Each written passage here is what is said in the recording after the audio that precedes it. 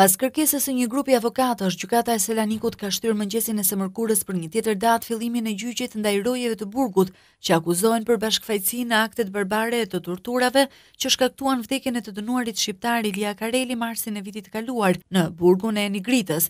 Kërkesa për anulim e paraqitur nga pala mbrojtëse e të akuzuarve përmbante faktin se një prej avokatëve të të pandehurve mungonte. Në sallë dhe jashtë ndërtesës së gjykatës ishin të pranishëm edhe kolegë të gardianëve të akuzuar kryesisht sindikalistë.